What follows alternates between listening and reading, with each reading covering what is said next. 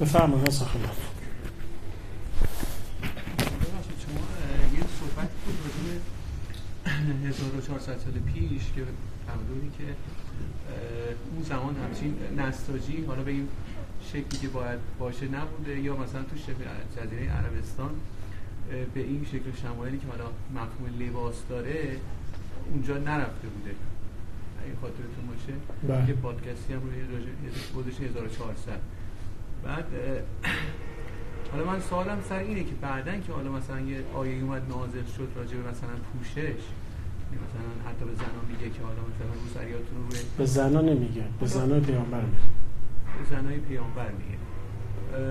میگه که بپوشونید. یعنی اینا یه نفر یه چیزی داشتن. گفتم بهتون گفتم ببین صنعتی نیست اونجا. خب اگرم چیزی هست با تجارت میارن. اونم حجمش معلومه که حجم زیادی نیست. شما حالا 1400 سال پیش ول کن. شما این مستخ... مستشرقینی که اومدن تو ایران زمان قاجار. وقتی که دوربین بوده. مثلا از مردم تهران عکس گرفتن. عکس رو دیدین من مادر اصلا- بزرگ خودم اصلا- همینجوری تعریف می‌کرد اصلا احساس می‌کنید که لباسا مثلا پارچه به این مفهوم لباس الان شما یه کمد لباس تو خونت داری. پدرت هیچ وقت یه همچی چیزی تو کودکیش سراغ نداره اصلا به هیچ عنوان. یعنی چه برسه؟ اصلا صنعت پارچه چند سال مگه پیشرفت کرده به این حجم رسیده که تونستن اینقدر پارچه تولید بکنن درست بکنن؟ مال 100 100 150 سال مال بیشتر نیست. من الان منظورم از اینه که این آیه که حالا نازل شده شما فهمیدید که فقط مخصوص زنای پیغمبر بود یعنی و اون که آیه تو خطابش من نگفتم که مخصوص زنای پیامبر بوده گفتم خطاب به زنای پیامبره یعنی منظورم که این به زن پیامبر داره میگه خودتو بپوشون. حالا پارچه داری خودتو بپوشون. نداری نیا تو جمع. مجبور نیستی بیای تو جمع وقتی نمی‌تونی خودتو کامل بپوشونی. ولی شما زمان پیامبر تو مدینه اصحاب صفه داری. یعنی فقرایی که اونقدر لباس ندارن که تو نماز جماعت شرکت کنن. مثلا یه دست لباس یکی میپوشه میره باشه نماز می‌خونه میاد بعد میده به اون یکی اون میره دوباره یعنی حتی انقدری پارچه نداره که ستر عورت کنه. و نیست پارچه که بهش هدیه بده کسی. اگه بود که بهش هدیه می‌دادن. اونا که قرارشون اموالشون رو با هم نصف کنن. نیست. من سوالم همینه. میگم اگر یه همچین زمینه ای نبوده یه همچین فراغونی مثلا راجع پارچه نبوده پس قاعدتا هم نباید یه همچین به شما عرض کردم که به شما گفتم گفتم به زن پیامبر گفته خودتو بپوشون. خب حالا پارچه داری؟ بپوشون. نداری؟ نه یا تو جا. غیر از این که داره گزارش جامعه هم میده که این جامعه آدمای مریضی توشن که به زن پیامبر هم نظر دارن. اصلا یه دلیل این که میگه که ازدواج برای زنای پیامبر ممنوع میشه. در زمان حیات پیامبر دیگه مال بعدش که نیست. حالا بعدش هم که کسیشون ازدواج نکرد خودشون هم نخواستن.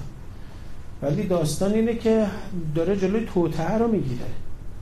که یه عده سر به سر پیامبر بذارن بیان توطعه کنن که همسر پیامبر ازش مثلا جدا کنن بعد باش ازدواج کنن. بعد آیه میاد میگه اینا ام المؤمنین کسی حق نداره ازدواج کنه یعنی در حیات پیامبر اگر پیامبر جدا بشن کسی نمی‌تونه با این ازدواج بکنه تا پیامبر زنده است. اصل داستان اینه که می‌خوام پیشگیری کنیم که تو این نخا نرن. اینقدر آدم بیمار تو جامعه هست که حتی ممکنه از این نقشه ها بکشن. اینجوریه داستانش. ولی اینکه پارچه نبوده این که چیز معلومیه. صنعت وجود نداشته اونجا. تو شبه جزیره فهم. سلام بحثی که خیلی ذهنم رو درگیر کرده توی صحبت شما این مفهوم بهش و جهنم اون برزخی که شما حالا تعریفش رو می‌کنید یا یه شمه ای ازش رو بیان می‌کنید. شاید هم ناشی از این میشه که تو منبرهایی که نشستیم و صحبتهایی که تا الان به گوشمون رسیده و تفسیرهایی که شنیدیم اینا خیلی متناقضه با صحبتهایی که شما می‌کنید که اصلا اون مفهومی که شاید گفتن مثلا اصلا به مفهوم نیست یا پاپ اینجوری مثلا گفته یا نه اگر زمانتون اجازه میده یه خود بازتر کنید این قضیه رو نه شما برید یه ذره فکر کنید. من چیزی که باید می‌گفتم که گفتم. شما خودت قرآن هستی که برو بخون فکر کنی مقدار. که من که- قرآن هیچ چی نیست. قرآن خیلی راحته. نه نه نه نه.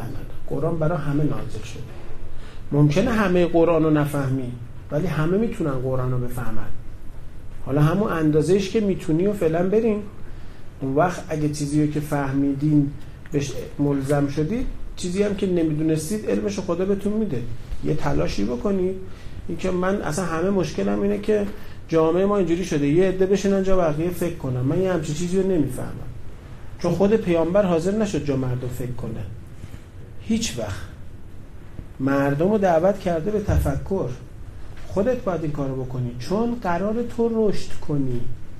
قرار تو انتخاب کنی. ببین همه مشکل همینه. ما فکر می‌کنیم اگه کار خوب بکنیم آدم خوبی هستیم. نه. اگه به کار خوب میل داشته باشی آدم خوبی هستی. میل داشتن با کار خوب انجام دادن خیلی فرق می‌کنه. الان یه ده حال ندارم فکر کنم میگه آقا بزن امام زمان بیاد. چی؟ امام زمان بیاد چی بشه؟ جا تو فکر کنه. چون تو تنبلی. چون حال نداری فکر کنی مگه مغزی که تو کله توی با اونی که تو کله امام زمان فرق می‌کنه؟ فرق نمی‌کنه که. امام زمانم بیاد راه استفاده از اینو بهت میده. نمیاد که ماهی بده دستت که ماهیگیریه رو یادت میده. شما برات سوال نشده پیامبر اگه دست می‌زد به کوه احد از خدا می‌خواست طلا بشه طلا نمی‌شد؟ چرا مسلمان نون نشتن بخورن چون قرار نیست اینجوری پولدار بشی که. چون پولدار شدن مهم نیست. این پول و فقر این یک بازی در دنیا. واسه اینکه این وسط تو خودتو نشون بدی. که در اوج ثروت چه کار می‌کنی؟ در حزیز فقر چه کار می‌کنی؟ اینجا افت داری اونجا سخاوت داری. میگید چه از می‌کنم؟ این مال اینه که تو خودتو نشون بدی. اصلا مهم نیست حالا که داریم فقر هست یا مثلا ثروت هست یا نه. همش امتحانه دارایی. المال و البنون زینت حیات دنیا پول و فرزند زینت حیات دنیاست. اما توی آیه دیگه میگه اینا جفتش فتنه است. فتنه یعنی عامل آزمایش. یعنی بعد حواست باشه که اینا عوامل آزمایش تو هستن. تو اینجا خودتو نشون میدی. اون خودی که نشون میدی مهمه. ولی اون چیزیه که تو میشی. من دست تو رو بگیرم وردارم یه جایی ببرم. این فایده نداره که تو با خودت اینجا رو بخوای و خودت بتونیم تنهایی به این نقطه برسی. می‌دونی؟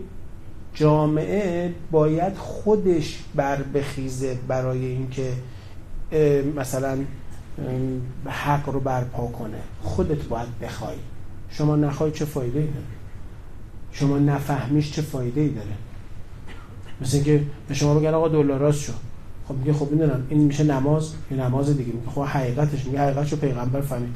حقیقتی که پیغمبر فهمید به چه درد تو می‌خوره؟ به نماز تو کیفیت نمیده. کیفیت نماز تو به میزان معرفت توه.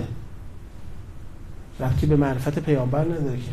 حالا اصلا تو به پیامبر اقتدا کن. فایده نداره. پیامبر نمی‌تونه جور معنویت تو رو بکشه. و جالب اینه که معنویت چیزیه که ارث نمی‌رسه. پدر تو عارف بالله باشه. چه ربطی به تو داره؟ میگه گیرم پدر تو بود سرهنگ از هنگ پدر تو را چه فرهنگ جدیده.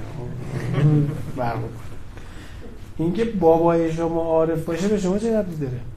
شما پشت سر امام زمان نماز بخون.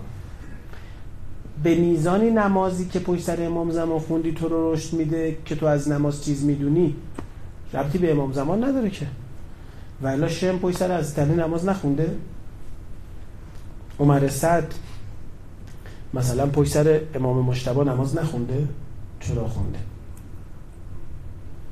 اینایی که دور پیامبر بودن اینایش کدوم به پیامبر اقتدار چرا کردن؟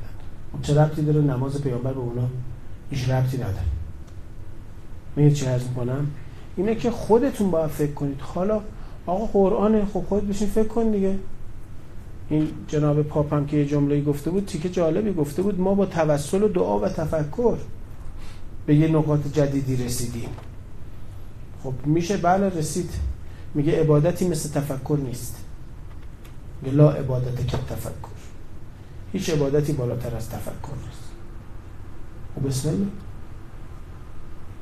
یه چی عرض می‌کنم؟ خودتون فکر کن اینکه یه نفر بشینه فکر بکنه چیزی به شما اضافه نمی‌کنه. چون فردا یکی میاد چیز دیگه میگه بعد میری پیشمون میشینی میگه آقا اتفاقا چیزی که شما میگه با اون چیزی که آقا میره میگه فرق می‌کنه. خب آقا بالاخره کی درست میگه؟ تو اگه فکر بکنی می‌رسی که چی درسته. مثلا کسش مهم نیست.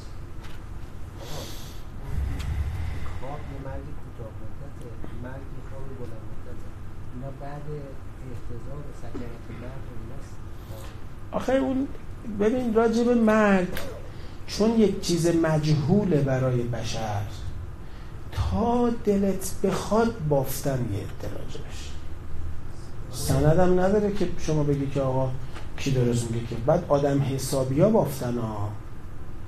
یعنی کسایی که اسم جانه خودتون گفتید اهل بیت دستمون می‌گیرن حتی تو سکرات مرگ حتی تو تو خب می‌دونم من چیز دیگه دارم به شما میگم. می‌خوام بگم چیزایی که شنیدید راجبش اغلبش چون علم بهش نیست. می‌دونی؟ گفت یارو نشسته بود این خلاصه افسار اولاغش هم زده بود روی میخی رو زمین. یکی اومد بهش گفت که آقا وسط زمین کجاست؟ گفت همجا که افسار خرر زدم گفت خب کجا میگی؟ گفت تو شک داری متر کن مالیات که نمیگین آقا متر کن بسم الله. که می‌تونه حالا متر کنه حالا هندسه یارو بلد نبود بشین حساب بکنه فلان ببینه اینجا میشه یا نمیشه. من می‌خوام به شما بگم که چون نمی‌دونستن راجع به مرگ تا دلت بخواد از این یه چیزایی بافتن عجیب. بعد از با انگیزه مثبت هم بافتن. فکر می‌کردن اگه مردم رو به ترسونن چه اتفاق میفته باعث میشه این دیگه گناه نکنن. من این داستان که الان براتون میگم اینا رو منبر شنیدم. بچه بودم می‌رفتم منبر مسجد می‌رفتم پا منبر میشستم اینا رو منبر شنیدم. که نمی‌دونم زنه مرد دخترش خیلی دوستش داشت. گفت منو با مامانم دفن کنید. الان هم دارید سر تکون می‌دید یعنی شنیدید. بعد خلاصه دفنش کردم بغل مادره یه راه هوا هم گذاشتن که دختر خفه نشه بعد فردا اومدن مثلا باز کردن اینو در همه موهای سفید شده. بعد گفتن چی شد که سفید شده؟ خیلی یعنی هالیوودی هم میبندن. بالیوودی. هالیوود هم انقدر نمی‌تونه ببنده. تقریبا فیلم هندی زب در ده میشه این. بعد گفت که بله من صبح مثلا شما دفت کردین رفتین. یه دفعه پایین قبل روشن شد. نکیر و منکر وارد شدن. دوتا ملک بودن اومدن و بعد با گرز آتشین. همچین گرز زدن مثلا کله نن من مثلا من خودم هم سفید شد مولا ترس. خب دلش دلی میبافی دیگه. بعدم میبافی. منتها برای چیه؟ این واسه اینه که حالا چی بوده؟ ما مامان کاهل نماز بوده. یا نه به شوهرش احترام نمیذاشته. چون ما دو هزار تا روایت داریم که به شوهرت نرسی میری بیخ جهنم. یعنی قشنگ معلوم مرده اینو درست کرده. چون بیشترشون مرد بودن علما تو این 1400 سال همش به نفع مرداست. مثلا میگه حالا دیگه نمی‌خوام بگم چی میگه. قشنگ معلومه دیگه که آقا خب یه بار نگفته هوا زن رو داشته باشین فقط اهل بیت میشستن می‌گفتن آخه اهل بیت برای مرده حرف می‌زدن. زنا که نبودن پا منبر که 90 درصد وقتا. بعد هی به مرده می‌گفته که اگه زنت بد نرسه میره بیخ جهنم. خب این که میشه چماقی هم داره میره خونه میگه می‌دونی حضرت چی گفت؟ فلان فلان شده. می‌خوای بری بیخ جهنم؟ یعنی اصلا چیز نیست دیگه اینو حالا می‌خوام بگم تو داستان مرگم اینجوریه. حالا اونم بنده خود انگیزه مثبت داشته ولی حواسش نبوده که آقا یکی رو به ترسونی می‌دونی به کجا می‌رسه؟ تجری. می‌زنه زیر همه چی. یارو قاطی می‌کنه میگه آقا اصلا اصل و فرش رو بیخیال کی گفته خدا هست؟ بیخ منکر میشه. تو کو خدا؟ اصلا خدایی نیست که بخواد پیغمبری فرستاده باشه که اون پیغمبر یه امامی داشته باشه که اون امام به یه آخوندی گفته باشه نم چی؟ که بعد اون حدیث اومده باشه که بعد یکی بمیره که بعد نکیر ما اصلا بیخ میزه میگه خود خدا وجود نداره. می‌دونی؟ یعنی بحث رو چیزش می‌کنه مختومش می‌کنه دیگه نمی‌تونه باشه این آقای مشتهدی خدا رحمتش کنه می‌گفت که می‌گفت اول انقلاب می‌گفتن امام خمینی می‌گفت این توده یا میمدن بحث کنن. می‌گفتن آقا چند تا امام دارین گفت شما می‌گفتی 12 تا. می‌گفت خب این امام خمینی چیه؟ می‌گفت دعوا می‌شد. بعد می‌گفت این امام به اون امام رب نره. مثلا این منظور امام مسعود پیشواست اون نمی‌دونم چی؟ آقا می‌گفت گفت یه بار من حال نداشتم بحث کنم. یکی به من گفت آقا چند تا امام داریم گفتم 13 تا. گفت راحتش کردم. یه بحث نداریم. آقا 13 تا تموم. می‌گیری چی عرض می‌کنم؟ آره اونم خوشش اصل, اصل بحث آقا حالا می‌خوام بگم یارو می‌زنه میگه اصلا خدایی وجود نداره. حالا این داستانهای مرگ اینجوریه. شما اگه بخوای حقایق بفهمی اگه خدا رو بشناسی می‌تونی سرر از ناصر تشخیص بدی. ببین من چل سال بچه بابامم. با هم زندگی می‌کنیم مسافرت میریم نشست و برخواست داریم. الان صد نفر بیان به من میگن ما دیدیم بابا داشت سیگار می‌کشید. من صد تاشون رو تکذیب می‌کنم میگم دروغ میگید. چرا؟ میگم ما 40 سال بچه این بابا همین بخورم نمیده. چه برسه سیگار بکشه. این سرما می‌خوره بخورم نمیده. یعنی بخار غلیظم تا حالا به گلوش نرسیده چه برسه دود سیگار. چون من بابامو می‌شناسم تو راجع به بابام نمی‌تونی خالی ببندی. نمی‌تونی کلا سر من بذاری. نمی‌تونی برای شایعه درست کنی که من باور کنم. می‌دونی؟ چون بابامو می‌شناسم. شما اگه خدا رو بشناسی دیگه کسی نمی‌تونه به دروغ بگه. نمی‌خری ازش. میگه آقا بافتی. بافتنیه. ما تو بافتنی ها نمیه این داستانش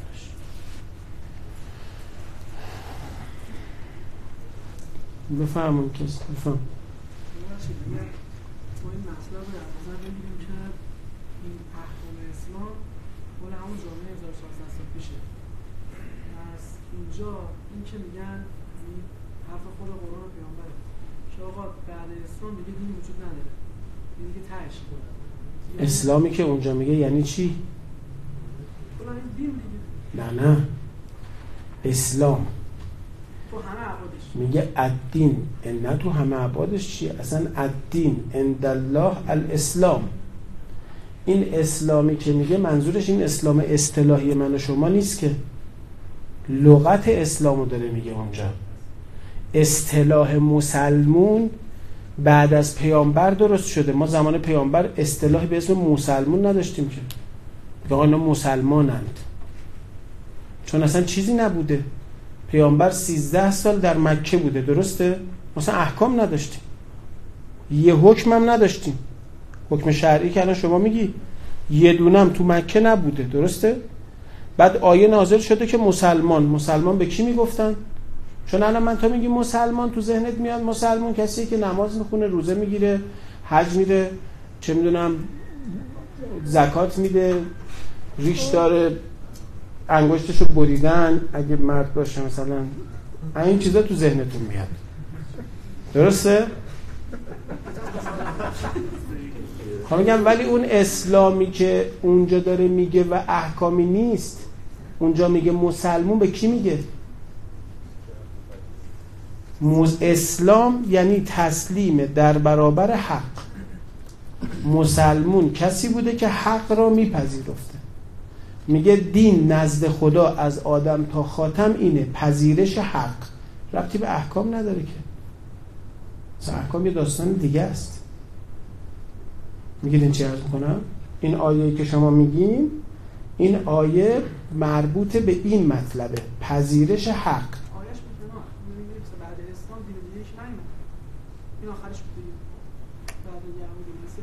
اصلا دین که همش یکی بوده حضرت مسیح و محمد و عیسی و موسی و یکیه نه هیچ تغییری نداره. دین یه چیزه. عزیز اون بحث دیگه یه اصلا من به شما گفتم دین. میگه الدین. عند الله الاسلام. یعنی هیچ پیامبری غیر از این نیومد بگه. تمام انبیا اومدن که انسان حق را بپذیرد. تمام. بحث احکام. میشه بحث قراردادها. اون داستانش اینه که بستگی دارد به شرایط اجتماع و شرایط فرد. اون یه چیز دیگه است. ربطی به این نداره.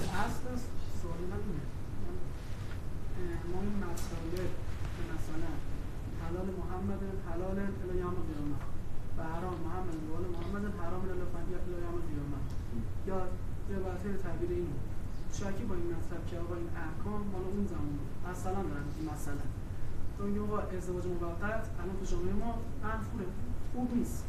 ولی خب این حلاله تو روایت هم خیلی بهش تاکید شده. خیلی بهش تاکید شده. این جامعه نه اگر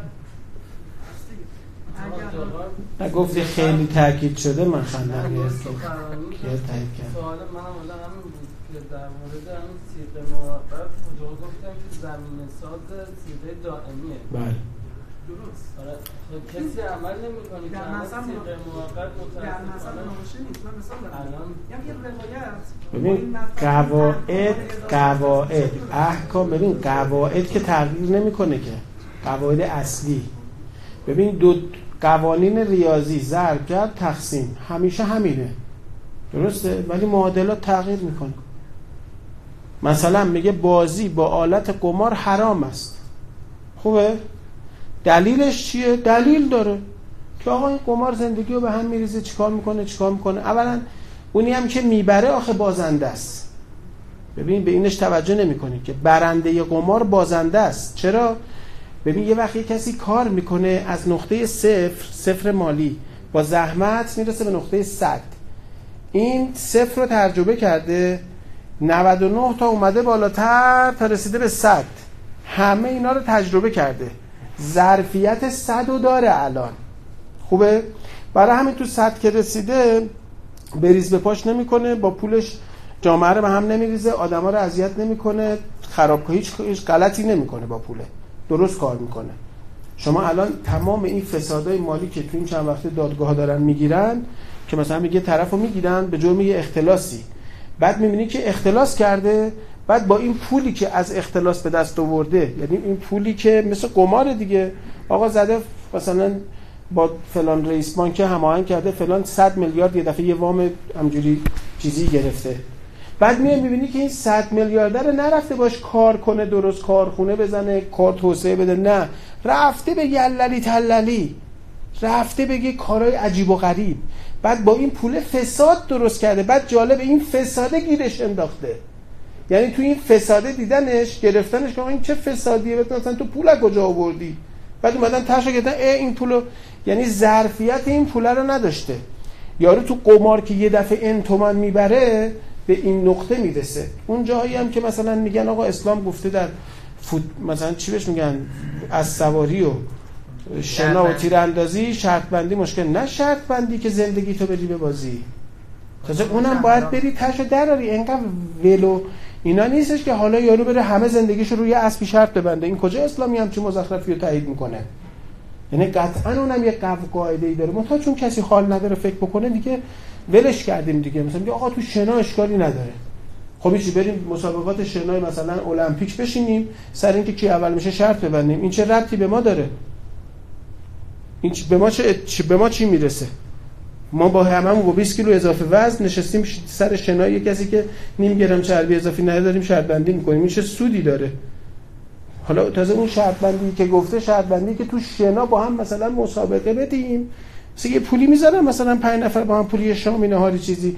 بعد میگه حالا هر کی تونتر شنا کرد اینو برداره. یه چیز اینجوری در این حد. حالا بعد بهش فکر کرد من الان دارم فل بدار می‌خوام بگم قمار. پس حالا اونی که میگه بازی با آلت قمار حرام است حالا یه چیزی مردم دارن باش قمار می‌کنن. ها؟ خب میشه آلت قمار یعنی هر کی می‌بینه یاد قمار بازی میفته حالا اگه دیگه کسی با این قمار بازی نکرد فرهنگ عوض شد اصلا دیگه کسی سراغ این نمیره. الان قمار فقط تو فوتباله. یعنی با فوتبال قمار می‌کنن. با همین فوتبال چیزی که مسخره خودمون داریم و من معمولا تا نیم مثلا نیمه دوم فکر می‌کنم دارن گرم می‌کنن. من چون خیلی الان نگاه می‌کنم گرم می‌کنن اینا چجوریه بعد میگه نه آقا تمومش آخر چه دیگه. بعد یه عده سکته می‌کنن اونجا بعد میاد چه فوتبال دوستیه. بابا 10 100 میلیون رو باخته سکته کرده برای فوتبال دوست چیه؟ شرط بسته باخته. سکته کرده. تو میگی فوتبال دوست فوتبال دوست کجا بود؟ حالا حرفم به شما اینه. می‌خوام بگم الان دیگه با اون جنسی که قبلا مثلا قمار می‌کردن دیگه قمار نمی‌کنن. خب الان دیگه میشه بازی باش اشکال نداره دیگه. مثلا یه بازی فکری بوده باش قمار می‌کردن. چون قمار می‌کردن میگیم آقا اشکال داره باش سراغش نرو. حالا دیگه کسی باش قمار نمی‌کنه. بازی فکری اشکالی داره؟ نه. می‌خوام بگم این تغییرات که می‌بینید یه وقت به خاطر اینه یه وقت فرهنگ اصلا عوض میشه. به شما گفته من توضیح دادم یه بار. گفته یه دونه خورما در راه خدا انفاق کنی اینقدر حسنه داره. یه دونه خورما کی کجا؟ اون وقتی که یارو چهار تا دونه نخل داشت سال یه بار بار میده. گوسفند نیست دو قلو بزد که. سه قلوزا هم دیدم هست. جدید اومده یعنی کار کردن روی قلو می‌زد اینا که ما دیدیم یعنی دو قلو بودن.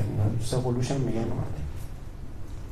چهار قلو هم نمی‌دونم شنیدم. فکر کنم میبست. داشت میبست ولی بعید نیست. درخت خورما چهار تا داشته. مثلا چه می‌دونم مثلا چه می‌دونم 500 کیلو 400 کیلو. چقدر بار میده؟ خورما نمی‌دونم. مثلا بار میده. خب. تا آخر سال دیگه این موقع هم دیگه خورما خبری نیست. تجارت هم نیستش که حالا تو جاده آسفالت نیست. شما الان برو همین الان خورد دیگه ارزون ترین چیزی که وجود داره خاصیت هم داره خورماست البته اگه نفهمن آقایون گرونش کنن چون شانس نداریم. ما میگیم صبح میگن آقا خورما چقدر من این بنده خدای خیلی ضعیف شده بود. بهش گفتم خب چه اینجوری گفت؟ نداریم واقعا. گفتم دیگه خورما که دیگه حالا که پنجشنبه گلزار شاهد بدی وقتی میرن یه پنج چه 10 تا 20 تا جعبه ول می‌کنن میرن اونجا هست. حالا گفتم خورما این خورما خشتا هست. خیلی هم ارزونه. خاصیت هم همه خورما دیگه بهترم هست. اون خورما که بگیر حداقل خورما بخور بنیه بدنت بشه اینجوری. چی نشه؟ ارزون تره حالا. حالا بود نمی‌دونم. من جدید نخریدم. یه سال اخیر خورما نمی‌دونم چجوری اینم اگه گرونش نگن حالا گرون شده خورما نه این خشتام گرون شده. کیلو چند؟ اینجا 8 تومن شده 20 تومن 25. ما نه فقط چلو مرغ می‌خوریم. از اینا خبر نه. آره گل. نه با من که عمره من ختم میرم چایی هم نمی‌خورم. کلا مرغ خودی بدم صحبت اینه که خورما الان با همین که میگی کیلو 20 تومن هم شده ارزش اونجوری نداره. اون موقع حیاتی بود. یعنی یارو دیگه نبود تا سال بعد. یعنی شرایط جامعه جوری نبود بتونه بره خورما باز بگیره بیاره فلان. از اون برم خب خیلی نیاز داشت به این. خوراک مقبولش بود دوستش داشت عشقش بود. می‌دونی تنها چیزی بود که دیده بود. عشق این بود که خورما رو برداره مثلا بزنه به بدن مثلا با شیر شطور کف کنه. حالا می‌خواد از چیزی که دوست داره بگذره و چیزی که نیاز داره بگذره و چیزی که تا سال دیگه ممکنه نباشه بگذره. خب معلومه انقدر براش حسنه داره درسته. اما الان قطعا این حدیث الان کارایی نداره. چون شرایط عوض شده. شرایط اجتماع عوض شده شرایط فردم عوض شده. الان یه دونه خورما واقعا بی ارزشه می‌گیری؟ مثلا میگه آب. کلی حدیث داریم به آب دادن به دیگران و چه ثوابی داره. درسته؟ چرا؟ آب نبود. شما تو شبه جزیره آب اگه یه چشمه‌ای بگردی تو کوه یه چشمه‌ای پیدا کنی. یا آب بارون یه جا جمع شده باشه مثلا اونم آب چی؟ نه فکر کنی آب گوارا یا نمی‌دونم فلان. نه و یا آب بود. حضرت بهشون گفت حضرت امیر داره میگه آب بویناک میخوردید شما. اسلام اومد یادتون داد چیکار بکنید چیکار بکنید. خب یه آب بویناکی بوده فلان. حالا می‌خواد از این آبم بگذره. خب خیلی گذشت می‌خواست. نه الان که شیر آب خونتون رو وا می‌کنی آب شیرین کنم تو خونتون دادی. خب الان آدم دشمنش هم بیاد در خونه شلنگ آب آدم می‌ذاره بیرون میگه هرچی می‌خوای بخوری بخور. حالا گوسفندم می‌خوان سر ببرن بهش آب میدم می‌خوره. الان که ارزشی نداره که. پس اون روایت الان کارایی نداره چون شرایط تغییر کرده. شما نمی‌تونی هیچ قرارداد دائمی داشته باشی. امکان نداره چون شرایط تغییر می‌کنه. شرایط فرهنگی تغییر می‌کنه. مثلا احترام به پدر و مادر به بزرگتر همیشه واجبه. اما شکلش تغییر می‌کنه. ما بچه بودیم بچه بودیم. مثلا یه بزرگی میومد تو می‌خواستن احترام بذارن سرشون رو میپوشوندن. من پدرم روحانی بود. یه کسی می اومد مثلا نشسته بودیم اما باشو در آورده بود که مثلا خونکش سرش نه بعد مثلا یه کسی می اومد گفت عمو منو بده. یعنی سر برهنه بودن رو بی احترامی می‌دونستن. یه بزرگی می اومد سرشون رو میپوشوندن. کلاشون رو میذاشتن سرشون می‌شد احترام. بعد یه مدت فرهنگ فرهنگ غربی اومد یعنی فرهنگ نه که بد باشه ها اصلا مهم نیست. اصل احترامی که سرش اونا تو فرهنگشون واسه این که به کسی احترام بذارن کلاشون رو در می آوردن فیلماشون زیاد دیدیم یعنی فیلم اومد و ما با اونا مراوده پیدا کردیم مراوده مردم زیاد شد ارتباطات زیاد شد شبکه اجتماعی اومد. الان تو خود ایرانش هم می‌خوان احترام بذارن کلاشون رو در میارن. احترام سر جاشه ها. ولی وقتی می‌خوای به یارو احترام بذاری یه روزی کلا میذاشتی سرت الان کلا رو برمیداری. اگه شما تعصب داشته باشی بگی نه باید کلا رو بر گذاشت سر. الان چون فرهنگ عوض شده از کاری که شما می‌کنید چی برداشت می‌کنن؟ بی احترامی. پس این تغییرات چیزی نیستش که اصلا بشه جلوش ایستادگی کرد. فرهنگ عوض میشه شرایط اجتماعی عوض میشه شرایط فردم عوض میشه. با تغییر اینها اون قراردادم قطعا باید تغییر بکنه. اما اونی که میگه ابدیه اینه که آقا همیشه باید تسلیم بود در برابر حق. حق رو باید پذیرفت. احترام به بزرگتر تا قیامت سر جاشه. تغییر نمی‌کنه. اصلش. اما شکل ابراز احترام تغییر می‌کنه. این ربطی به فرهنگ داره. شما نمی‌تونید روایت داریم یکی می‌خواست بیاد خونه پیامبر پیامبر کلا مثلا چی می‌دونم اقال سر چیز سرش کرد. مثلا چفیه سرش کرد مثلا. چی بهش میاد چی بود اون موقع میپوشون نظری روسری سرش کرد. الان خود شما روزه می‌خونید مثلا میگید امام صادق با سر برهنه بردن بیرون. بعد بچه‌تون میگه خب یعنی چی؟ میگه با سر پوشون. چون اون موقع تو فرهنگ اون روز اگه کسی چفیه مثلا نمیبست بزرگ بود و مثلا اقال نمیذاش فلان نمی‌کرد این بی احترامی حساب می‌شد. ما کربلا بودیم یه مدتی اونجا بودیم و اینا. بعد روز آشورا بچه ها می‌گفتن مثلا فلان قبیله میان. دیگه این کاری که می‌خوان بکنن اوج اینه که می‌خوان نشون بدن چقدر ناراحتن و چقدر مثلا برای ابا عبدالله چی می‌دونم حالت چیز دارن حالت احترام. میان روز آشورا این اقالشون رو با چفیه در میارن میندازن زمین. یعنی دیگه آقا من خیلی حالم خرابه به خاطرشون. چون این دیگه آخر بی احترامیه که کسی سرش بره. میگه علی من به عشق تو سرمو بره نمی‌کنم. اینو یک چیز می‌دونن. یک نوع عزاداری و ابراز همدردی با ابا عبدالله می‌دونن. تا آقا اما من سر تو برداشتم بیا منم اقالمو برمیدارم. با اینکه الان تو فرهنگ ما شما میرید بیرون میگید کلا سرتون می‌ذارید. اصلا برای ما اهمیت نداره. مثلا مثلا مثلا بریم چی شده؟ فرهنگ تغییر کرده.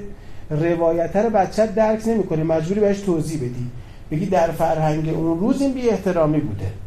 ولی امروز این یه همچی چیزی بی احترامی نیست. چی؟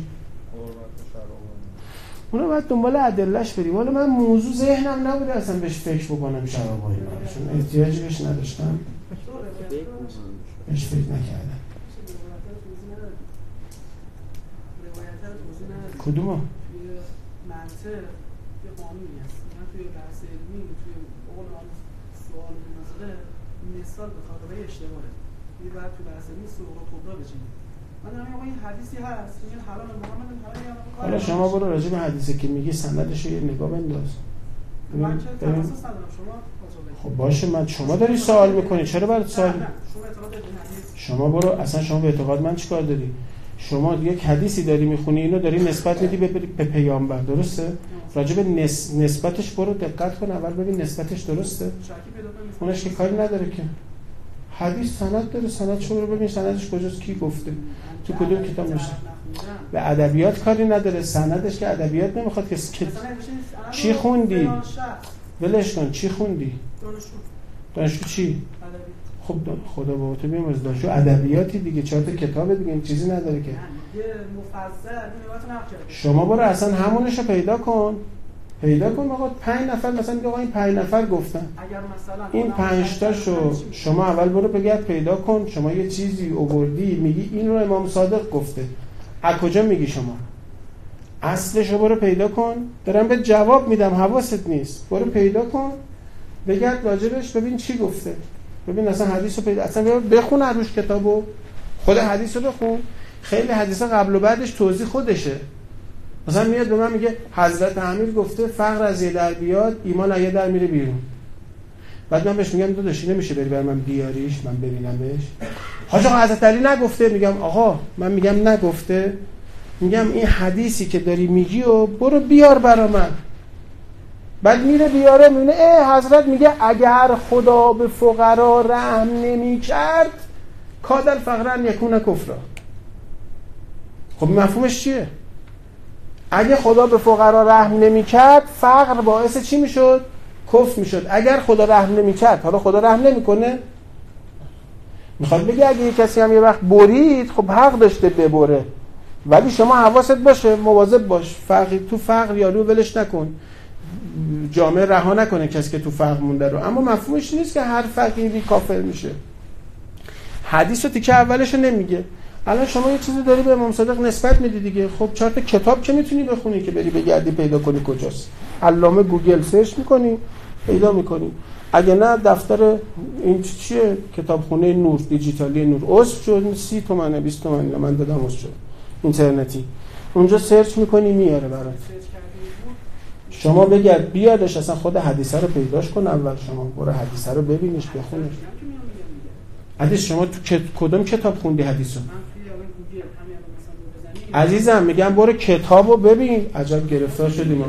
میگم برو کتابش رو ببین. ببین کی نوشته کجا نوشته مفهومش چیه می‌دونم می‌دونم آقا یه لحظه سی ثانیه وقت بدم توضیح بدم شما میگی برو که بعد نگاه کن درسته میگم آقا هر چیزی علمشو می‌خواد هر چیزی علمشو می‌خواد این که حدیث درست هست عزیزم شما برو اصلا پیدا کن. من دیگه نه من دارم الان با شما صحبت می‌کنم فارسی بهت میگم. میگم برو بگرد پیدا کن. اصلا برو یه بار یه کتاب رو بخون ببین چی نوشته. این نیستش که فقط من بلدم که. فقط من می‌تونم برم بخونم که. تو که دیگه ادبیات خوندی. این که کاری نداره که. باش ادبیات فارسی خونده باشی. یه لغت عرب رو نمی‌تونی ترجمه کنی. تو همون گوگل می‌تونی ترجمه کنی. من میگم تو برو یه کتاب رو ببین یه چیزی هست که میگم برو ببین. برو اصلا ببینش ببین هست. برو بگید پیداش کن ببین مثلا تو کدوم کتاب نوشته چی نوشته. برو اصلا اصلش رو پیدا کن. یه چیزی شنیدی. شما یه چیزی شنیدی میگی این که من شنیدم با اون حرف فلان. میگم برو ببین اصلا. راجبش هزار تا بحث شده. تو همون گوگل سرچ کرده بودی اگه سوال برات شده بود مباحثش هست. که آقا اصلا این حدیث رو قبول دارن یا قبول ندارن؟ توضیحش چیه؟ فارسی مباحثش هست. تو سایت خود حوزه بری مباحثش هست. من همه مشکلم با شما اینه. اومدی اینجا بشینیم با هم فکر کنیم. آقا شما اگه واقعا سوال برات درست شده یه سرچ یه سرچ. آقا این گوگل رو گذاشتن. من امروز برادر زنم داشتم بهش می‌گفتم مثلا همون برو کار کن اینجوری اینجوری باش. فقط درس خالی نیست. کارم کن پولم در فلان کن. گفت آره من می‌خوام برم فلان کشور فلان درس رو بخونم. گفتم حالا چرا می‌خوای بری اونجا بخونی؟ گفت آه تو ایران که چیزی نداره. گفتم نه صبر کن. تو ایران چی نداره؟ گفت نه این رشته تو ایران خیلی خطرناکه فلان. گفتم الان برات خطرناکش داره. تو گوگل جلو روش سرچ کردم. بیشترین مثلا فلان خطرات فلان رشته در کدوم کشور اتفاق افتاده؟ اول امریکا بود بعد کلمبیا بود بعد نمی‌دونم انگلستان بود بعد فلان بود. ایران تو ده تای اول نبود. گفتم جون ببین. می‌خوای بری خارج؟ برو داداش. مملکت نباید سال تو این ده تا تو این شغل خطرناکی که تو میگی ایران از یک تا ده هم نیست. خوبه؟ یه گوگل سرچ کردن آقا یاد بگیرید. شما برات سوال شده که آقا این حدیث مفهومش چیه؟ الان برو همین حدیث رو بنویس. بنویس مباحث حول محور حدیث فلان. سرچ هم باید یاد بگیرید. یه مدت سرچ کنید دستتون چه جوری سرچ کنید برسید. راجع به این فارسی بالای صد صفحه مباحثه پیدا می‌کنید موافقین و مخالفین. که اصلا توضیحش چیه؟ میگید چی عرض می‌کنم؟ من حرف شما قبول چشم الان من جمعه هفته دیگه شما می‌ذارید میرم راجع به حدیث فکر می‌کنم. و میگردم بعد مثلا میارم. اگر مثلا چیزی یه مطلب به کنار. تو امکان مناظره با شما هست؟ نه نیستش. نیست. نمی کنم میگه دوست ندارم مناظره. خوشم نمیدم نمی‌کنید؟ خاطره خوب ندارم. مشخص بشه غیر مناظره از مناظره که شد مثلا مو- 10 دقیقه شما صحبت کنید نه،. نه. 10 دقیقه مثلا یکی دیگه صحبت کنید نه اصلا نیاز به این نیست. ببین من دارم وقت حالا بهت میگم حواسم از چی داری میگی. ببین پس من دارم درست میگم. ما اهل مناظره نیستیم. ما حرفامونو می‌زنیم. شما هم حرفاتو بزن. مردم هم میشنون خودشون می‌فهمن کدوم انجام بدن کدوم انجام ندن. ها؟ خب دوست نداریم خاطره خوب نداریم از مناظره. چون تو مناظره ما می‌خوام همدیگه رو ساکت کنیم غلبه کنیم به همدیگه. تو شما میشه به من بگی تو چل سال اخیر کدوم مناظره ای تبدیل به مجادله نشده؟ تو 400 سال اخیر چی؟ من میگم سابقه هر وقت گفتن مناظره کشیده به مجادله. هیچ فایده ای هم نکرده هیچ کم حرفش که گوش نکرده. مؤمن یه سوراخ 400 بار که نیش نمی‌خوره که. شاگردای اهل بیت با کی مناظره کردن؟ هیچ وقت با هیچ کی مناظره نکردن. اصلا اهل بیت مناظره قبول ندارن. مگه مجبورشون کردن یه جایی حرفی بزنن؟ کی اهل بیت دعوت به مناظره کردن؟ هیچ وقت اهل بیت. شما یه دونه حدیث براش پیدا نمی‌کنی که امام صادق به یکی گفته باشه بیا مناظره کنیم. نیست. نیست. مناظره نیست. طرف سوال داره. من شما رو میفرستم ما اینجا سوال جواب بدیم دیگه. ما که تنها هیئتی هستیم که. سوال جواب به جواب من میگم جواب خب. شما نقد داشته باش. خب خب باش. خب مطرح کن. الان کی گفته؟ عزیز دل من. شما مگه حرفتو نمی‌خوای بزنی؟ ما که نه تو تلویزیون صحبت می‌کنیم. آقا به چه حق رو پیدا کن. الان چه مشکلی با حق داری شما ببین شما میگی من یه صحبت دارم یه نظری دارم نظرم هم درسته خب میگم خب با هم دیگه مناظره کنیم در از این میگم مناظره رو قبول ندارم چون به همینجا می‌کشه. به مجادله ختم میشه. منم من نه خاطره خوبی از مناظره دارم نه دلیلی برای مناظره با کسی می‌بینم. من یه تریبون دارم. خب حرفامو می‌زنم. شما مقابل من هزار تا تریبون دارید. هزاران. شما رو نمیگم. دیگه مخالفو میگم. هر کی که حرف منو قبول نداره. خوبه؟ اینا که همه دارن. این, این که من ما داریم که همه دارن. تو کم صد تا هیئت. همه دارن. خوبه؟ غیر از این که ما تلویزیون یک ثانیه هم تا حالا نرفتیم هزاران ساعت تو تلویزیون دیگرانی که حرفای ما رو قبول ندارن صحبت کردن. خوبه؟ ما تا حالا یک کتاب چاپ نکردیم هزاران کتاب چاپ کردن. روزنامه ها هم دارن فضای مجازی هم دارن. همه آقایون اینستاگرام و تلگرام و فلان هم دارن که فیلتر کردن تلگرام رو. سایت هم که همه دارن ما داشتیم. اون وقتی که سایتمون دیده می‌شد فیلترش کردن که نبینه کسی سایت ما بعدن که دیگه کار افتاد دوباره گفتن دیگه بازه می‌تونی بریم اونجا که دیگه ما خودمون هم نرفتیم چه برسه دوستان. می‌خوام به شما بگم پس تریبون هست. خب بسم الله حرفتون رو بزنید. چرا ما مناظره نمی کنیم چون می‌کشه به مجادله. چون ما جامعهمون رو می‌شناسیم. آدمامون هم می‌شناسیم. چون تا ناراحت میشن یه سوال از ما می‌کنن. تو ایران که نمیشه همه سوالی جواب بدی؟ آقا نظر شما راجع به فلان مطلب چیه؟ بگی درسته یه بلایی سرت میاره. بگی درست نیست. بازی بنده خدا یه فیلم ازش پخش کرده بودم با خانومش. بعد می‌گفتم بگو کیه؟ به من می‌گفت من بگم خانومم باختم بگم نیست باختم. طرف می‌گفت که این حرف آدم سرش نمیشه. بیا تو رو باش صحبت کن. ببین داری به من توهین می‌کنی. یعنی برم باختم نرم باختم. حرف اینه که مناظره برنده نداشته تو ایران. ما سابقه خوبی ازش نداریم. شده باعث دعوا و درگیری و این همه مناظره داره میشه همین الان. بعد طرفدارم نداره چون مردم از جر و بس خوششون نمیاد الان این همه دارن سیاسی ها با هم مناظره می‌کنن. برنامه های تلویزیونی مناظره می‌کنن. چون برنامه های ماهواره مناظره می‌کنن. برنامه های مجازی مناظره می‌کنن. خب چی توش در اومده؟ غیر از دعوا و دو دستگی ما میگیم آقا ما چهار تا کلمه حرف داریم شما برید صد من یه ساعت حرف می‌زنم اینجا شما صد ساعت حرف بزنید. صد نفری صحبت بکنید. تو تلویزیون شبکه یک و دو و سه و چهار و پنج و شیش و داریم دیگه؟ هفت و هشت و استانی و شما اونا نه صحبت کنید. خب مشکلش چیه؟ ولی نه ما می‌خوایم بیم تو جلسه شما هم صحبت کن. آقا تو جلسه خودت صحبت کن دیگه. دیگه این که دیگه نمی‌تونی بگی ما حتما باید بیم زور یالا بیا مناظره. آقا ما خوشمون نمیاد هم مناظره. خاطره تاریخی بدی هم داریم ازش. از چهل سال اخیر نه 400 سال اخیر. 4000 سال اخیر هم بگردی خاطر خوب پیدا نمی حالا یه بار شما میگی امام معصوم و معمون برداشته کلی آدم دعوت کرده حال امام رضا رو بگیره. حضرت برده وسط اینا. بعد گفته یالا سوال کنید. خب حضرت باید جواب بده بعد چیکار کنه؟ اما حضرت اونا رو دعوت کرده بود.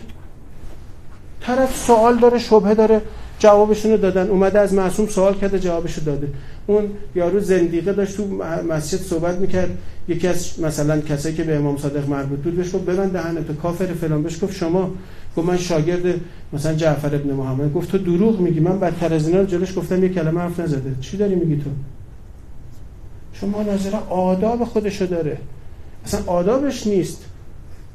آدابش بود. هیچ وقت معجزه این که اینو چی میگی؟ حضرت موسی عصاشو انداخته ظاهر قرآن شما اصلا بگیر. شده اجدها اسباب و وسایل ساهرا رو خورده. فرعون ایمان آورد. میگم یارو معجزه نشون داده فایده نکرده. حالا مناظره کنیم. من اولا که جوانتر بودم از الان کلم باد داشت مثلا بحث می‌کردم. یه بار من تو اشایر بختیاری بودم. حالا اون هر کجا اصلا خدا حفظشون کنه. بنده خدا 4 5 تا معلم معارف بودن. اینا تو چیز بود سال 78 اون موقع. اوج قدرت اصلاح طلبا بود و اینا. بعد اینا اومدن ما رو پیدا کردن توی مثلا کلی رفته بودن یه روستای دیگه. گفته بودن سید فلانجاست اومده بودن اونجا سراغ من.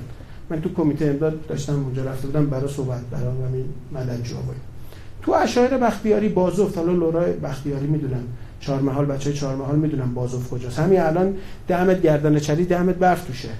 من زمستون اونجا بودم. می‌رفتم برای بچه‌هایی که تو مجلس شبانه روزی بودن سخنرانی سازمان تبلیغاتم لطف می‌کرد. کره ماشین منو هم می‌گرفت. دوازده هزار تومن اون سال از من کره ماشین گرفت. من از شهر کرد از فارسون. شهر فارسون منو برد بازوف. گفت نرو بازوف بیا برو اینجا یه دیگه. بازوف می‌خواد بری چیکار؟ گفتم 400 تا دانش آموز تو مدرسه شبانه روزیه. پدر مادرشون هم مسجد سلیمانن. گفت باشه نرو اینجا مسجد خالی زیاد داره. برو اینجا. اگه می‌خوای بری اونجا کره ماشین تو باید بدی. 12 تومن از ما کره ماشین گرفتن. ما رمزون 15 تومن به من اونجا هدیه دادن. سه تومن باز خوب بود. امامی هست. بعد اینا اومدن با ما بحث. بحث و خب ما کله داغ. آقا با اینا بحث. خلاصه ما پیروز شدیم. می‌دونی معلم به من چی گفت؟ گفت متاسفانه حق با شماست. گفت ما بریم یه ذره مطالعه کنیم برمیگردیم. فایدهش چیه؟ میگه متاسفانه حق با شماست. خب اگه من تو رو به نور رسوندم چرا متاسفانه؟ ولی حرف اینه که شما چلو کبابو کردی تو حلق یارو. ما میگیم آقا ما یه پیشنهادی داریم. یه نظری اینه نه هست. میل داری؟ بسم الله. نداری ما اجبارت نمی کنیم به هیچ وجه. خودت بیای دوست داشتی دوست هم نداشتی نه. اصلا تو بگو غذای ما آلوده است ما که دکونی نزدیم که شما بخواید دکون ما رو ببندی دیگه. دیگه بیشتر از این کاری که کردن دوستان که نمی‌تونستن کاری بکنن. چیز دیگه نبود بکنن دیگه. همینا که می‌شود و کردن خب چهار تا منبر می‌خواید اینا رو هم ندیم. برای ما حرفی نیست توش. اهمیتی نداره. نورش ولی اگه بحث صحبتی خب من حرف زدم شما حرف بزن. شما حرف بزن من استدلال میگم شما استدلال تو بگو. مردم هم میشنون دیگه. این که فکر نمیشه بگی آقا مردم هیچی نمی‌فهمن ما باید تو رو خفه کنیم تا مردم بفهمن. این که اصلا منطقی نیست. این که اگه مردم نمی‌فهمن خب رو نفهمی دنبال تو هم راه افتادن. پس. چون تا به ملت به ما رأی میدن آقا حماسه جدید آفریدن. تا به مخالف ما رأی میدن اکثرهم لا یعقلون. اصلا اکثرهم لا یعقلون معنیش نیست که اکثرا نمی‌فهمن. عقل یعنی توانایی. اصلا اون یه چیز دیگه است. آیه به نفع مردم آیه رو نفهمیده کرده شما بزن سر مردم. داره به پیامبر میگه اکثر مردم تواناییشون کمه تحملشون کمه هواشون رو داشته باش. مثل اینکه من 20 تا بچه رو میدم شما ببری مثلا کوه اردو. بهت میگم آقا اینا بچه‌ن نه اندازی همجوری بکشی کوه بری بالا مواظب باش اینا ضعیفن. چی ان چی ان دارم سفارششون رو می‌کنم خدا که نمیاد به بنداش توهین بکنه که. حالا می‌خوام بگم همینو نفهمیده اینو می‌گیره دستش. هر کی دنبال ماست نفهمه اکثر هم لا یعقلونه. هر کی دنبال اوناست فرهیخته چی نخبه نمی‌دونم چی چیه این که قشنگ نیست. غیر از این که داداش من تو عمرم شاید ده بار 20 بار جوون بودم مثلا خام شدم مناظره کردم با اینا عین 20 بارشو بردم. خب ظاهرا. اما تو دلم فهمیدم که باختیم. بابا یارو از ما بدش اومد. من خودم سخنرانا رو خیلی جمع کردم گفتم و دارید مستقیم با هم صحبت بکنیم. عجل که اومدیم بیرون همه گفتن تقبل الله بعد آثارش رو رفتیم یه جای دیگه دیدیم. خوبه؟ پیشنهاد دادیم کمک کنیم. آثارش رو رفتیم جای دیدیم تو پروندهمون بود. ما خودمون بهشون پیشنهاد دادیم کمک کنیم آقا بتون برای همین اصلا مناظره و بحث و اونا مال اینه که بالاخره یه دنبال یه چیزی باشه. ما دنبال هیچی نیستیم. الان هم که می‌بینی یه چهار تا جلسه جمع جور اینا مگه که خوششون نیامد ما رو راحت می‌کنن. بیشتر به کاسبیمون می‌رسیم. کارمون الحمدلله رونق گرفته در این رکود اقتصادی. خلاصه ما میریم دنبال کار کاسب خودمون. خیلی مشکل خب بچه بس دیگه. آره یه سلامات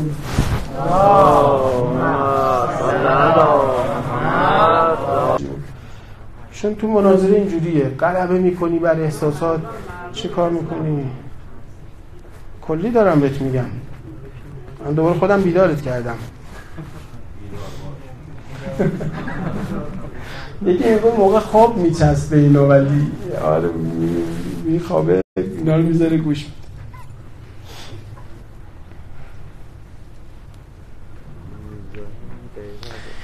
خب آقا یک صحبتی دیروز عرض کردم.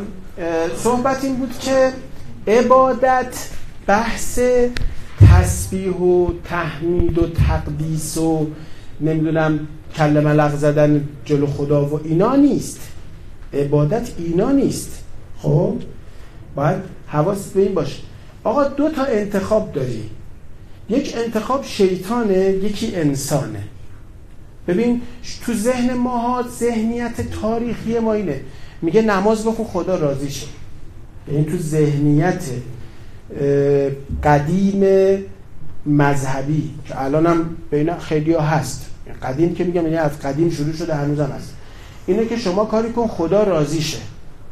آقا نماز بخون خدا راضی شه. روزه بگی خدا. همش باید مواظب باشه خدا رو راضیش کنی. فلان کارو نکن خدا ناراحت میشه. خدا عصبانی میشه. خدا بدش میاد از تو. می‌دونی؟ یعنی اینجوریه.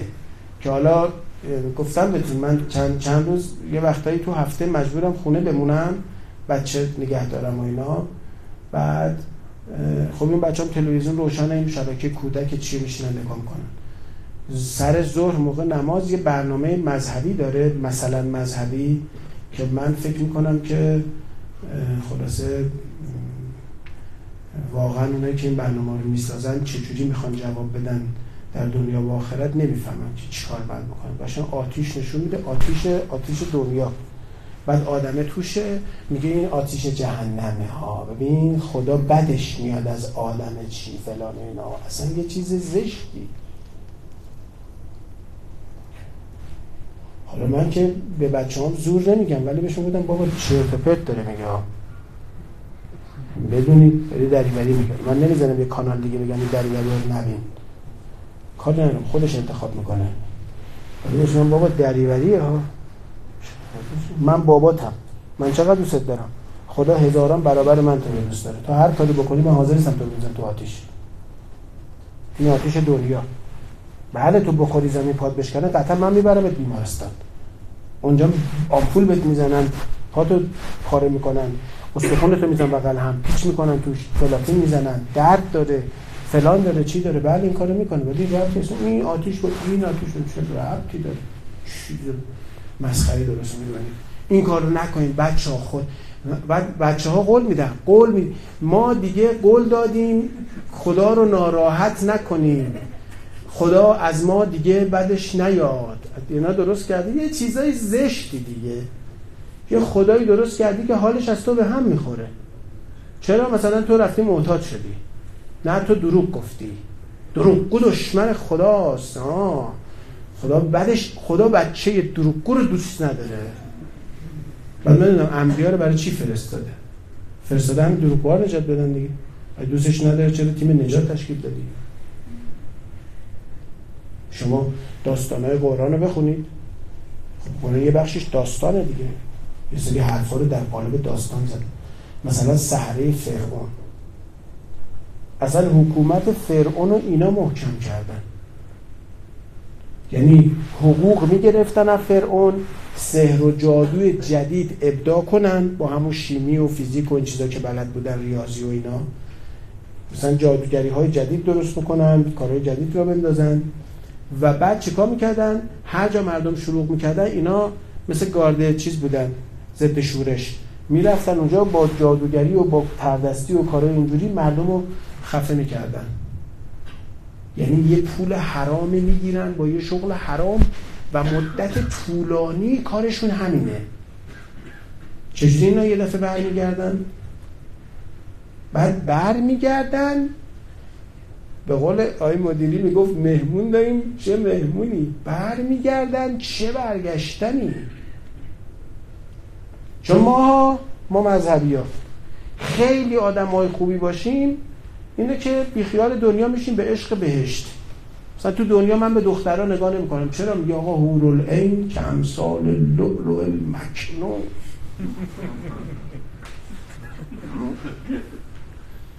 آقا آب می‌خوره. آقا اینجاش میگه معلومه اینجاش. اصلا وحشتناکه اینا. حالا من نمی‌دونم چی یارو آب بخوره گلوش معلوم بشه وحشتناکه. ولی اینا مثلا می‌خوام بگن بلور. قدیم آخه این چیزا سلیقه قدیمی هست دیگه اونا ساختن دیگه معلوم هست. بلور آقا آب می‌خوره تو گلوش قد بلند. قد بلند دوست داشتن همه کوتوله بودن. قد بلند درست کردن قد بلند دو متر قد داره. نردبونه مگه؟ چی؟ اصلا هوروله. حالا ما تو دنیا بیخیال دختره میشیم به عشق که اونجا میگه آقا یه درخت هست در بهش به بعضی ها میده این مال همه نیست. خاص. بعد رو هر برگش یه هوروله نشسته. درخت توته مثلا تکون میدی هوروله میریزه. خب در پنجات هوروله می‌خواد چیکار کنی؟ خب تو که میگه همشون مثل همه خب چه فرقی داره؟ مثلا یه دونش با پنجاتاش فرق داره؟ من نمی‌فهمم میگه داره. من فکر نمی کنم اونجا حلال باشه که یه دفعه مثلا پنجاه نفر با هم ببینی. من نمیم چجوری دیگه واقعا دیگه شورشو در بردید دیگه. نمی‌دونم دیگه اونام حتما باید با قلمان یه کاری بزنن یه خاکی به سرشون بریزن دیگه. از این چیزی حالا کار نرم به اینا. می‌خوام بگم فکر نشده بهش دیگه. نشسته رو فکر کنه. بهش شده یه اشتت کرده که هرچی تو دنیا حروم بوده اونجا حلاله بعد حلال عجیب و غریب. حالا یه کلمه تهور تش بذاری بگی شراب تهور شراب اگه مست نمی‌کنه چیکار می‌کنه؟ این شراب تهوره چیکارت می‌کنه؟ شنگولت می‌کنه دیگه. خب همونه دیگه. این چه فرق می‌کنه این شراب مثلا چیکارت می‌کنه؟ نه همون کارو می‌کنه بعد میگه اونجا رودخونه شو داری. مثلا در خونه مؤمنین رو میری می‌زنی مست پاتیل همه. مثلا یا آقا حاج آقا هستن حاج آقا مستن چند سال 300 سال آقا تو کما این که خب جذاب نی می‌دونی؟ می‌خوام بگم میخندی چون فکر نکردی به شاه. مثلا بهش درست کرده میگه خاک بهش اود و انبره بابا شما اینجا اود و انبر ما یه دو تا اتکلان اینجا زدیم امروز. چون بعد چند وقت خالی بوده گفتی بوی خوب بده و اینا. بعضی بچه‌ها میگن آقا سردرد شدیم. شما فرض این موکته به جاش اود و انبر بود می‌تونید اینجا بشین یه ساعت حرف من گوش کنی که حالت بد می‌شد. قشنگ معلومه منطقی نیست. حالا کار ندارم. می‌خوام دیگه شده دیگه چیزایی مثلا اینجوری گفتم. ما از دنیا می‌کنیم میفتیم تو چاله چی؟ بهش بعد بهش رو چجوری می‌سازیم؟ یه اشتت کرده یه حلالی مثل دنیا. که اونجا با خانوما هستی و اشغال می‌کنی هورولین داری و دورت میچرخن و پرنده داره میری میگی بیا اینجا من بخورم. تو رو میاد میشه بریون میخوریش به درخت سیب میگی گلابی بده میده مثلا. حالا البته اونایی که بافتن این چیزا رو خب اون وقت گلابی و سیب و اینا نبوده مثلا نشینه بودن. تو بهش میگه فقط خرما و انگور و انار. مثلا تو بهش شما شدید بگن گیلاس داره گلابی داره. ها؟ چندین شفتالو زردالو آلبالو. نیست. کیوی موز. نیست توش. آناناس. آناناس میوه حساب میشه؟ آووکادو دوست داری؟ خب.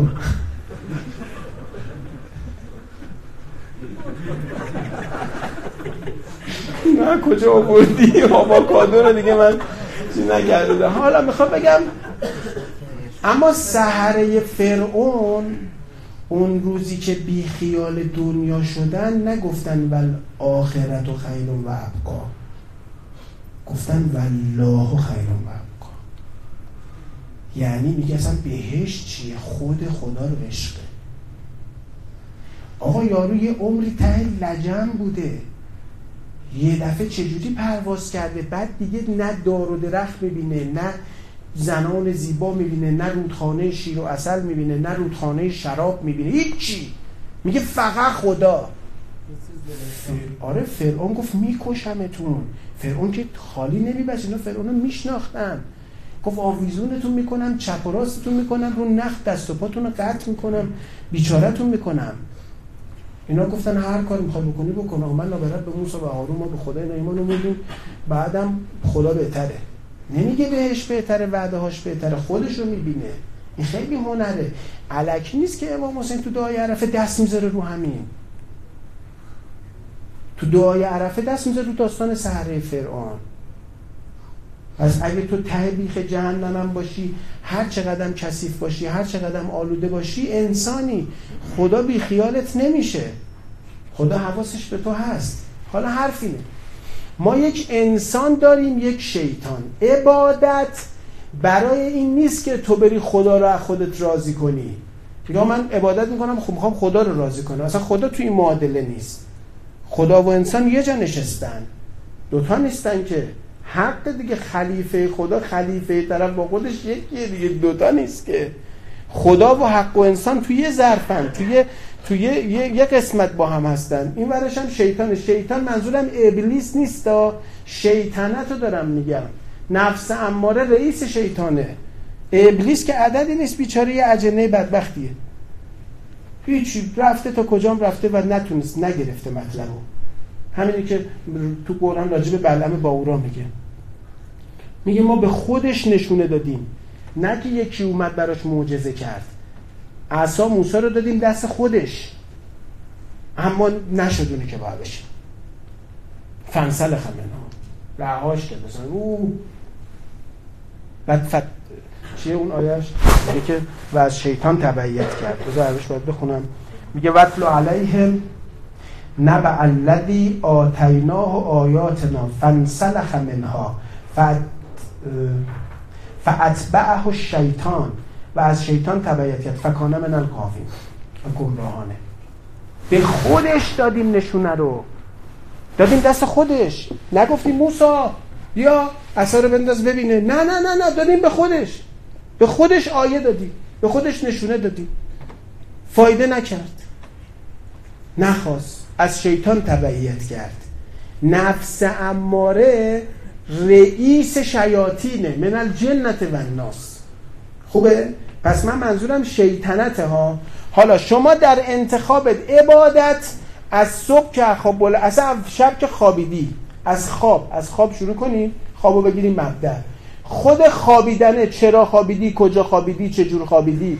اینا انتخاب دیگه انتخاب می‌کنی که تو حال میخوابم یا تو اتاق خواب میخوابم.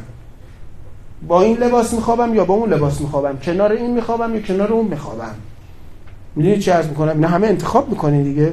یارو بازنش لج می‌کنه مثلا میگه من میرم تو حال میخوابم. یه کسی نه اصلا بحث لج نیست. نه واقعا مثلا حالش چیز نیست. اصلا داره مراعات زنش رو می‌کنه الان. یه کسی چه می‌دونم با فلان لباس میخوابه مراعات بچه هاشو می‌کنه. میگه حالا من جلو بچه هم لباسی نپوشم. بذارم بچه روحش دست. من امروز کلیپ خیلی دلم سوخت.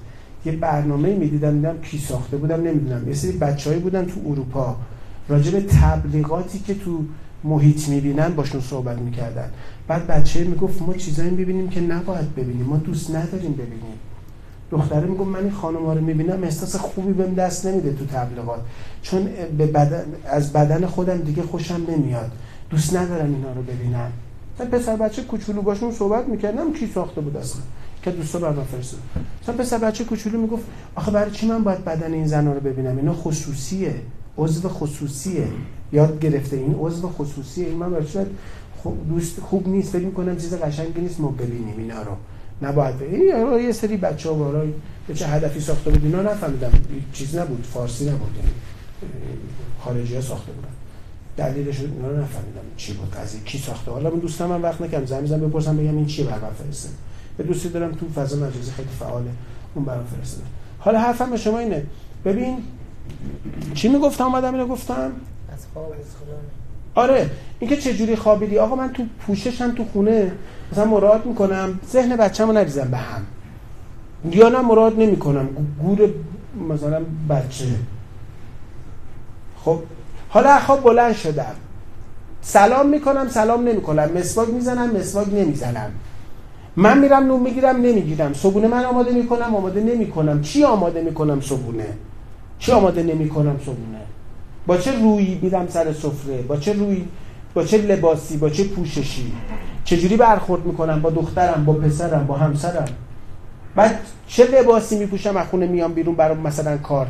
اتکلان می‌زنم یا نمی‌زنم؟ چه اتکلانی می‌زنم چرا می‌زنم؟ چه رنگی میپوشم؟ چی میپوش؟ این آقا اینا اینا همش عبادته. تمام انتخاب دیگه.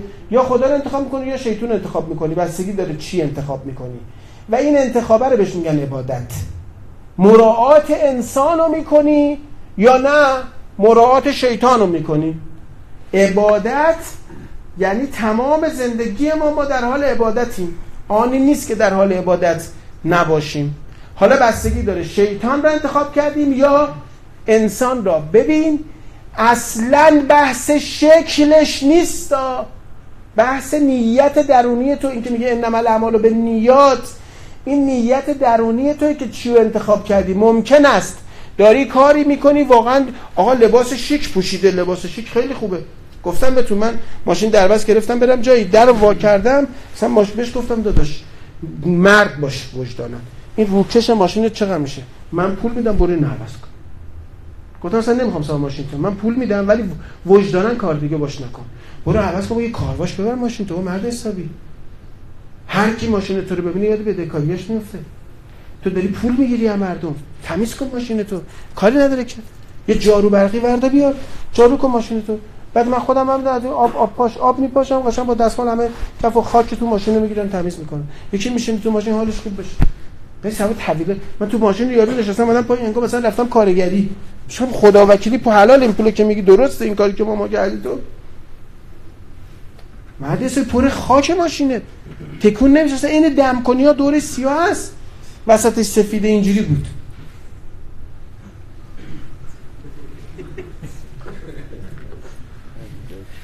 یه خط وسطش بود چیز عجیب غریب می‌دونید چی میگن؟ حالا یارو تیپ زده همکار خانومش می‌خواد بذاره سر کار. این که دیگه معلومه داری گم می‌زنی. یکی ادکلام می‌زنه میگه خوشبو باشه. یکی نمی‌زنه میگه وقتی کسی آس می‌دونه تو ماشین اذیت میشه.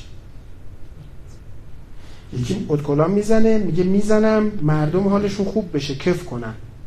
رفتم کلی پول دادم یه ادکلانی درجه یک خریدم. یه بنده خدای ادکلان به هدیه داد. بعد الان فکر کنم داره می‌بینه. بعد گفت داداش این اونایی نیستش که میری دوش می‌گیری باشه.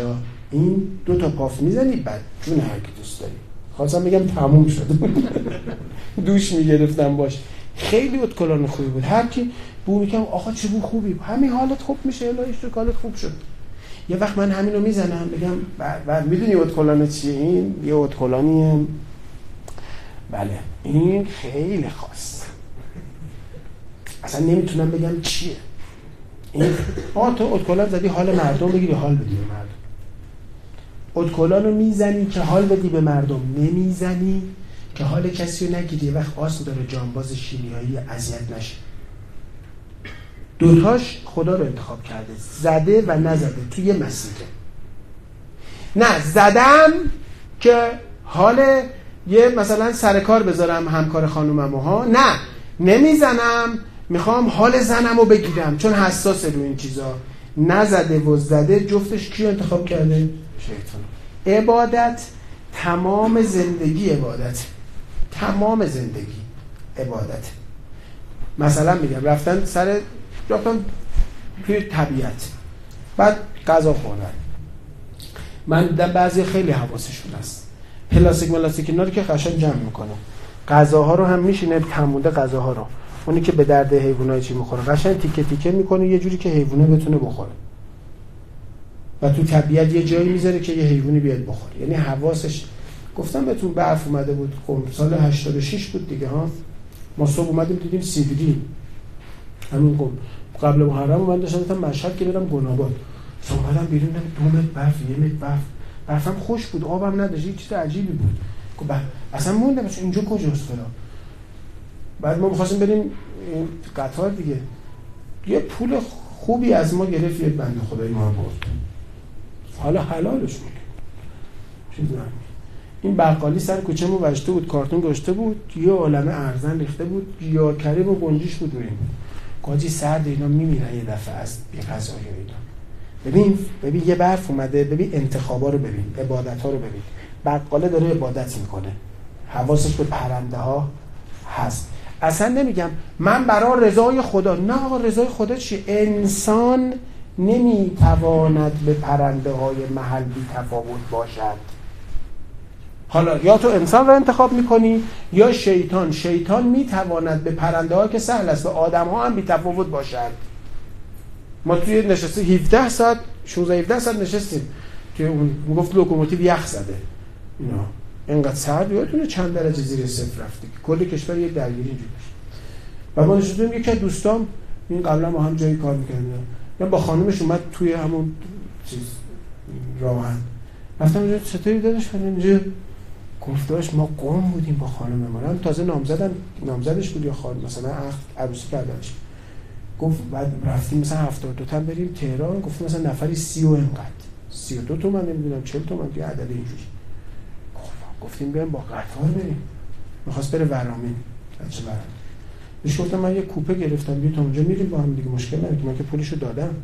حالا اونجا مثلا یه ذره خواستیم خانممون راحت باشه حالا تا اونجا یه ذره راحت می‌کنیم. خانمش هم مثلا چیز با هم همسر من بعد دیگه رفتیم با ببین یارو اومده قم تهران کرده سی تومن. اون موقع خیلی بودا. 1200 بود کرایه. ها؟ آره یه, یه سالی که حواسشون نبود که خود چیز ببره یادتونه همین قیمت های نجومی می‌گرفتن عجیب غریب. حالا حرفم به شما اینه. ببین عبادت داری می‌کنی عبادت یعنی انتخاب انسان. ببین وحی نازل بشه دروغ خوب است. دروغ خوب میشه؟ نه. دروغ دروغ دروغ بده خوب نمیشه. انتخاب انسان نمی‌تواند دروغ باشد. حالا شما در عبادت داری انسان رو انتخاب می‌کنی یا شیطان رو؟ اصلا کاری نده که خود طلبکار خدا رو. من برای رضا خدا اون کارو کردم. شما اصلا فرض کن خدای وسط نیست. تو می‌خوای بری دروغ بگی؟ انسان نمی‌تونه دروغ بگه. انسان انسانی که از شیطان دور شده. شما اصلا تمام این جایزهایی که می‌خوام بهتون بدم برای راستگویی و برای چه می‌دونم سخاوت و برای این مطالب رو خوب شد اینجا یکی هم بگه بسته اینجا هیچ نبود. یازده. بس. راست بس. مخلص مهندسی اینجا یکی داریم میگه بسته اونجا همینجوری میشینن نگاه می‌کنن. پس گرفتین چی شد؟ عبادت یعنی انتخاب انسان. اصلا شما داستان جایزه هایی که قرار بگیری و بذار کنار. آقا کمک کردن به فقیر هیچ جایزه ای ندارد. خوبه؟ آیا به فقیر کمک کنیم یا نکنیم؟ میگه آقا من نمی انسان نمی‌تونه بی تفاوت انسان. با این جایزه ها خراب کردن ذهن تو. این بچه بازیه. هی با جایزه می‌خوای طرف رو بیاری. مثل ما بچه بودیم مدرسه می‌رفتیم. گفت جایزه نماز. تمام اونایی که میومدن مهر نماز بگیرن وضو نداشتن. خدا وکیل شما وضو می‌گرفتید راهنمایی رفتید نماز؟ دمتون گم راستم میگی داستشو میگی. وضو نمی‌گرفتید نامردا. این همه نماز باطل کردیم می‌گیری چی میگم؟ وضو نمیگه یارو به کارت نماز بگیره. آقا یارو فکر کرده خدا رو باید راضی کنی و در برابر این راضی کردن خدا به شما جایزه میدن. بعد عبادت شده چی؟ راضی کردن خدا. نه آقا عبادت یعنی انتخاب انسانیت. یعنی انتخاب انسان که همون انتخاب خداست که همون انتخاب حقه. اینا یه جا وایستادن یعنی جالو فلرز خلیفه با ما خلقت الجن و انس الا بدون یه کلمه است. یه حرفه دو تا حرف نیست. یه حرفه. تو خلیفه ای جا همون وایسادی راه همونو میری مسیر همونو میری این دوتا نیست که یکیه. اصلا بگه جایزه نداره. آقای که زمین افتاده هیچ جایزه ای نمیدیم. نه بهشتی هست نه بعد از چیزی هم نیست. چی بهش میگم محرومیتی هم نیست. یک کسی خورده زمین بلندش کنی نمیبرنت بهش بیخیال هم ردچی هیچ نمی‌برن رندت کنن و بریزن تو روغن داغ و کنن بپزی و بخار بشی دوباره برگ. اینجوری نیست. خب حالا افتاده زمین بهش کمک نمی‌کنی؟ میگه انسان از کنار افتاده بی تفاوت نمی‌تونه رد کار دست کاردونش نیست. امام رضا علیه السلام بالای چهل خورده ای سالشون بود و هیچ فرزندی نداشتن هیچ فرزند نه پسر نه دختر. شما فقط برید بخونید کسایی که خودشون رو شیعه می‌دونستن و بزرگان شیعه می‌دونستن چه حرفایی که به امام رضا نزدن. تا جایی که یه کسی اومد جلو حضرت داشت گفت به خدا قسم تو کذابی تو امام نیستی. امام بعد از تو کو؟ اون وقتی هم که امام جواد به دنیا آمد امام رضا خودش سفید رو بود امام جواد سبزه بود. یعنی سفید رو نبود. برید بخونید ببینید اقوام و کسایی که خودشون رو نزدیک می‌دونستن به دایره امامت تو تشیع چه حرفایی که راجع به امام جواد نزدن. تا اینکه رفتن چهره شناس یعنی آزمایش دی ان ای ازش گرفتن. که ببینیم این بچه تو هست یا بچه تو نیست. بهشون ثابت شد که بچه حضرت چهره شناس آوردن بچه هاشون آوردن توی باقی رها کردن. یک لباس نمدی تن امام رضا کردن کلا نمدی گذاشتن بیل دادن دستش. یا هر چیزی که وسیله کشاورزی بود اونجا. خب؟ یعنی این باغبونه. خودشون هم صف وایسادن سیبیل تو سیبیل. به چهره شناسا گفتن بگو این بچه ها هر کدوم مال کیه؟ یکی یکی بچه رو می آورد نگاه می‌کرد میگه این بچه مال توه. همه هم درست می‌زد تو خال. تا رسیدم به امام جواد نگاه کرد گفت به شماها که نمی‌خوره مال اون باغبون است. خوبه؟ این کارم حتی کردن. اقوام. خوبه. کسایی که نگران دین خدا بودن. انقدر نگران بودن که امام زمان هرچی می‌گفت آقا من بچم به دنیا میاد. کی دیگه؟ پس کی؟ اصلا به دنیا بیاد. شما یه وقت خدای نکرده بلا اومد. بعد شیعه رو بسپریم دست یه بچه. بعد شما قرآن می‌خونید میگه عیسی مسیح پنج روزه بود در آغوش مادرش برگشت گفت قال انی عبدالله آتانی الکتاب. آتانی الکتاب؟ اصلا نمی‌فهمید چی می‌خونید قال انی عبدالله من بنده خدام. آتانی الکتاب. به من کتاب داده و من پذیرفتم. یعنی من قابلیت اینو داشتم که بفهمم مفاهیم این کتابو. و جعلنی نبی یا من پیامبرم و جعلنی مبارکن اینما کنت. چی داری میگی؟ بعد پیامبر پنج روزه بعد تو به امام پنج ساله مثلا حالا اصلا اینو کار ندارم. آقا اینم این کارم کردن حضرت گفت خیالتون راحت شد؟ معمون امام رضا رو مجبور کرد اومد ورداش تنهایی برد. کجا؟ توس می‌دونی اول کاری که کردن این آقا این چی کار کردن؟ رفتن یه چهره شناس دیگه بردن نگرانن دیگه نگران دین خدا. رفیق به اسم دین خدا به اسم نگرانی برای دین خدا. خوبه؟ به امام معصوم چه حرفای بی ربطی که نزدن.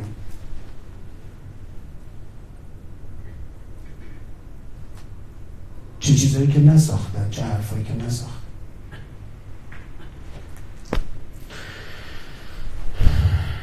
سلام بگیم آقا.